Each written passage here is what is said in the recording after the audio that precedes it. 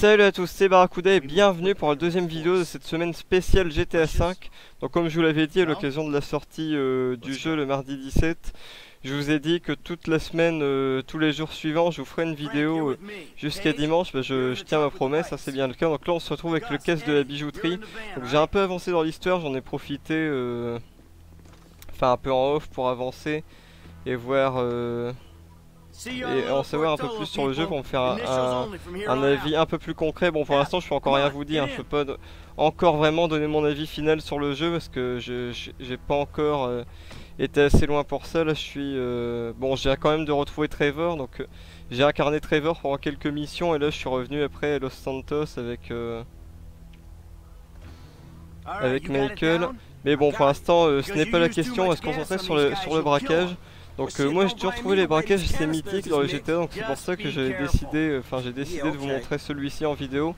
Euh, j'avais prévu un autre truc pour aujourd'hui, j'avais prévu en fait de vous montrer euh, les activités plus une balade dans les airs au-dessus de Los Santos. Ça je le ferai demain parce que j'ai pas vraiment eu le temps de, de préparer, j'ai pas eu le temps de réfléchir aux activités que j'allais vous montrer. Mais, mais bon c'est pas grave du tout, je vous montrerai ça demain. Là en attendant je vous montre le braquage pour que vous ayez vraiment un aperçu d'un caisse euh, dans GTA 5. Je me souviens aussi de celui de GTA 4 qui était quand même assez mémorable, c'est bien foutu. Enfin, c'était surtout plus des gunfights qu'un qu braquage en soi-même, mais il était vraiment pas mal. Donc là, celui-ci, je l'ai fait, je le trouve aussi assez intéressant parce qu'on a en plus le choix de choisir entre deux approches. On peut euh, bah, soit la jouer subtile ou bien soit la jouer bourrine. Bon, moi perso, j'ai choisi l'approche la, euh, subtile, c'est quand même assez intéressant. Et euh, bah, d'après ce qu'ils disent, on, ça permet de ramasser plus, euh, plus d'argent euh, durant le caisse parce qu'on a plus de temps pour se mettre à l'action. Donc voilà, j'ai choisi ça et puis bon, j'ai pas testé la, la, façon bourrine.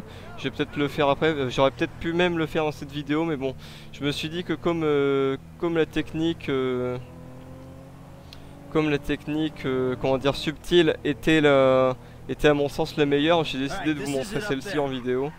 Et comme ça vous verrez un peu à la différence du braquage de GTA 4 qui lui était, et des autres braquages d'ailleurs qui étaient plus euh, gunfight que réel braquage. Là on va euh, se la jouer. Euh, donc là on incarne, on a changé de personnage, cette fois-ci on incarne Franklin. Donc euh, oui le personnage là, le, le, le changement de personnage s'est fait tout seul. En l'occurrence ça arrive quand même pas mal de fois, il y a, y a, y a vraiment de nombreuses fois où c'est des scripts carrément pour changer de personnage, c'est pas nous, euh, nous carrément qui, là par exemple c'est pas nous qui le faisons carrément avec la molette des personnages, ça se fait carrément automatiquement. Donc vous voyez des passages automatiques et des passages il faut faire euh, manuellement. Ça dépend desquels. Donc là on va sur les toits et notre but c'est de balancer du gaz anesthésiant dans les dans les conduits d'aération de la bijouterie. Ce qui va nous permettre donc d'entrer et de tout rafler. Donc il faut passer là-haut. Hop, voilà. Il faut être athlétique hein, pour faire euh, pour faire braqueur subtil aussi, faut pas. Euh... Enfin, il faut aimer faire du sport quoi. Hop, voilà. On monte là-haut sur notre point d'observation, pardon, ou la bafouillage. Ça va m'aider parce que comme je viens de faire la mission il y a, y a, y a quelques heures, ça va m'aider. Je me souviens encore à peu près de ce qu'il faut faire. Donc là, il faut balancer le gaz là-bas dans la conduite. Par contre, faut pas se louper parce que c'est pas facile à faire. Euh... Ouais, comme ça, ça devrait aller. Non, c'est raté. Ah, je l'ai eu. C'est bon. Ouais, donc là on a, on a plusieurs essais. Hein. Les, ouais, on a en fait, euh, ouais, on en a 5 il me semble. On a 5 euh, on a 5 euh, grenades de gaz, on va dire, on va dire ça, on va dire des grenades de gaz, tiens, parce que j'ai pas le nom. Des bombes de gaz, ouais, des bombes à gaz. On a 5 et là on veut que tout le monde s'endort. En fait on avait 5 essais pour, euh, pour avoir notre cible. Bon là, là comme j'étais déjà entraîné tout à l'heure, c'est vrai que j'avais déjà la, la, méthode. Je savais pile où il fallait la lancer. Bon alors on va pas perdre de temps. Hop, on casse les vitrines et on se sert. Euh, classique, là on voit le butin qui affiche en bas. Et tant que c'est rouge, c'est qu'il y en a pas assez. Donc on va en rafler un max. Hop, allez vas-y, casse les vitrines. Ils cassent tout. Et ils sont violents quand même. Mais bon voilà, j'ai trouvé que, que, pouvoir faire une approche, euh, pouvoir mettre en œuvre une, approche furtive euh, dans un braquage, enfin euh, une approche subtile dans un braquage dans GTA 5, c'était c'était pas mal, ils avaient, à mon souvenir, ils avaient pas vraiment mis, de, mis ça dans les autres GTA, c'est tout le temps des approches plus ou, moins, plus ou moins violentes, pardon, on, on butait tout le monde pour réussir.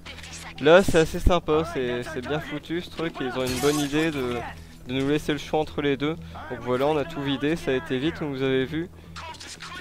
De toute façon, un bon braqueur se doit d'être rapide. Hein. Hop.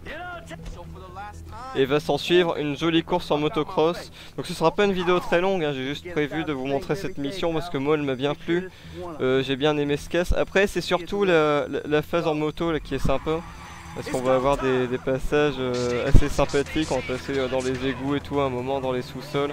Enfin bref, vous allez voir par vous-même, c'est assez sympa. En tout cas, moi j'ai profité un peu là euh, des heures que j'ai joué en off pour visiter un peu Los Santos. Donc du, coup, comme j'ai incarné Trevor, j'ai été dans le désert. Et j'ai découvert que c'était pas mal foutu, hein, il y avait pas mal de, de choses à faire. Et j'ai découvert aussi qu'on pouvait chasser les animaux, enfin chasser, on peut tirer dessus si on veut pour, pour les buter. Ouais, j'ai vu qu'il y, avait pas mal d'animaux euh, dans cette région-là, enfin dans la région plus naturelle. J'ai profité vraiment des, des, heures de jeu que j'ai eu pour vraiment visiter la ville. Bon, j'ai j'ai pas encore tout vu. C'est pour ça c'est tellement vaste à visiter que je pense qu'il me faudra un moment rien que pour l'exploration. Donc euh, là pour l'instant j'ai visité pas mal d'endroits, j'ai notamment fait pas mal d'activités qui sont également intéressantes. C'est vraiment euh, un, grand nombre d'activités à faire. D'ailleurs, je vais vous présenter ça dans la prochaine vidéo, les activités. Et euh, en plus de ça, bah, je vous ferai une visite euh, depuis le ciel, enfin une visite guidée dans les airs avec un hélico ou un avion de, de, la map complète que vous puissiez voir à peu près les contrastes entre ville, désert, montagne et, campagne. Il y a vraiment de, des environnements bien distincts, hein. c'est vraiment des environnements qui sont assez distincts. Mais vous verrez ça dans la prochaine vidéo, je vous montrerai euh, bon, euh, tout ça en détail, vous pourrez voir à peu près vue du ciel. Ah, ou bien j'ai pensé à un truc aussi, j'aurais pu peut-être vous faire euh, la vue du ciel avec le dirigeable atomique qu'on peut piloter. Enfin j'ai eu ce DLC, je sais, parce que j'ai précommandé le jeu, tous les gens qui ont précommandé le jeu ont ce DLC. En plus moi j'avais pris l'édition spéciale, d'ailleurs si vous n'avez pas vu et que le contenu de l'édition spéciale Micromania vous, vous intéresse, si vous voulez en savoir plus, eh bien il y a la, vidéo unboxing que j'ai fait euh, de l'édition spéciale Micromania que vous pourrez donc voir, euh, que vous pouvez donc voir à partir de maintenant sur la chaîne.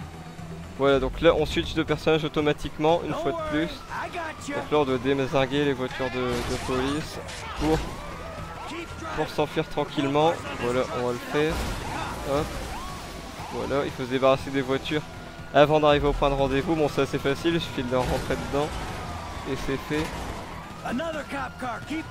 Hop, allez toi tu me fous le camp.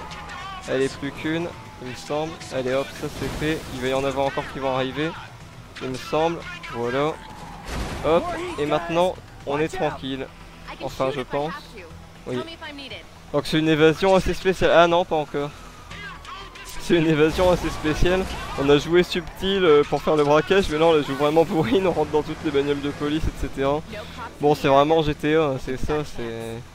Moi je, l'ai trouvé excellent, pour ma part ce caisse de la bijouterie je le trouve assez sympathique, ça m'a fait plaisir de, revenir sur un braquage, dans les GTA j'adore ça les braquages, c'est vrai que, que, revenir sur un braquage euh, tel que celui-ci, c'est vrai qu'il est vraiment pas mal et ça m'a fait plaisir. Après, j'ai pas été très loin dans le jeu, donc je sais pas. Je pense qu'il y en aura d'autres. Hein, il y aura certainement d'autres braquages, mais là j'ai pas été assez loin dans le jeu, donc je peux pas vous dire pour le moment s'il y en a d'autres. Mais bon, en tout cas, voilà, ça aura été euh, une courte vidéo pour vous présenter un peu euh, cette mission et que, que vous voyez un peu de quoi ça a l'air un braquage dans GTA 5. Comme ça, ça vous fait pas mal d'infos pour ceux qui l'ont pas encore acheté. Bon, je doute qu'ils soient fort nombreux, ceux qui l'ont pas encore acheté, parce que je sais que bon, tout le monde euh, était à fond sur sa sortie, donc euh, quasiment tout le monde l'a déjà acheté. Euh, je sais que ils sont pas nombreux ceux qui, qui n'ont pas encore le jeu. Mais bon, ça permettra quand même, ou bien si vous avez déjà le jeu, ça vous permettra de bon, de passer un bon moment sur GTA 5 en vidéo, voilà. Donc voilà, le braquage passe à sa, touche à sa fin et ça s'est passé sans accroc, enfin ou presque, hein, avec la police qui nous a poursuivis, mais on a réussi à s'en tirer, donc voilà, ça s'est passé assez bien finalement. On a réussi à, se tirer d'affaire et donc on a un beau butin de, de, 4 millions de dollars il me semble. Bon à la fin quand il aura quand il aura partagé l'argent il restera pas autant mais bon. Ça va faire quand même un petit magot. Si je me souviens bien à la fin on touche 700 000, un truc comme ça. Euh, plus de 700 000 ouais. Eh ouais, faut quand même compter les charges qui est après, hein, c'est ça. c'est vraiment de la grosse organisation quand même un braquage, ça me donnerait pas envie d'en faire un. Enfin bref, donc voilà, je vous ai montré ce braquage, donc voilà, maintenant on est... Braquage réussi, parfait. Comme vous voyez, donc ça a changé maintenant, dès qu'on a fini la mission, on a, on a cet écran qui s'affiche là avec euh, des stats un peu qu'on doit remplir pour avoir euh, l'argent, l'or ou bien le bronze. Bon là on a l'argent en l'occurrence, parce que la saisie n'a pas été assez rapide, on n'a pas pris les trucs assez rapidement. Bon c'est pas grave, je trouve qu'on a quand même bien bossé. Ah, on se retrouve devant le club Vanilla. Club de striptease, donc ouais, le, club de striptease de la ville. Donc là, je crois que celui-là, c'est le seul. Enfin, il me semble. Il me semble bien que c'est le seul. Ouais. Donc là, cette mission, la mission du braquage, je l'avais déjà faite. Hein, c'est juste que, bon, j'avais... On a la possibilité maintenant de refaire les missions. Donc du coup, j'ai été refaire la mission pour, euh, bah, pour vous montrer un peu, parce que je trouvais ce braquage assez intéressant. Donc euh, bah voilà, je pense qu'on va pouvoir se laisser là. Qu'est-ce que je pourrais faire d'autre? Bah pour cette vidéo, je pense que ouais, on a vu le braquage, donc c'est déjà très bien. Euh, je réfléchis vite fait si je j'aurais pas un autre truc à vous montrer. Mais franchement non, je pense pas que pour le moment. Euh, de toute façon, j'ai prévu une vidéo demain pour vous montrer les activités plus une vue d'ensemble de la ville depuis les airs. Ensuite, euh, une vidéo peut-être où je vous montrerai les courses, euh, peut-être des courses en moto et triathlon, peut-être qui pourront être intéressantes. Euh, ouais, on va écraser cette sauvegarde. Donc là, je me retrouve ici. Ouais, donc on retourne à ma sauvegarde actuelle. Donc voilà, bah, c'est assez joli hein, de nuit la ville. Je sais pas si je vous en ai déjà parlé, je sais pas si j'ai eu l'occasion de vous le dire. Mais de nuit, les éclairages ils sont assez bien foutus et on a une, jolie ambiance qui, qui ressort. C'est c'est vrai que c'est assez appréciable. Bon, bah sur ce, je pense que qu'on va se quitter là. Moi, je vous dis merci d'avoir regardé cette vidéo et merci d'avoir euh, suivi ce trépidant braquage. Et je vous dis à demain pour une nouvelle vidéo, la vidéo des activités et de la, visite guidée de Los Santos, tout simplement. Que je vous ferai depuis les airs, soit en avion, soit en hélico. J'ai décidé, mais bon, je pense que ce sera plus en hélico, parce qu'en avion, on a moins l'occasion d'observer le paysage. Donc ouais, je pense que je vous le ferai en hélico ou en dirigeable, à voir. Donc euh, voilà, je vous donne rendez-vous demain pour la prochaine vidéo. Sur ce, bah, portez-vous bien, passez une bonne journée. Et à demain. Salut à tous.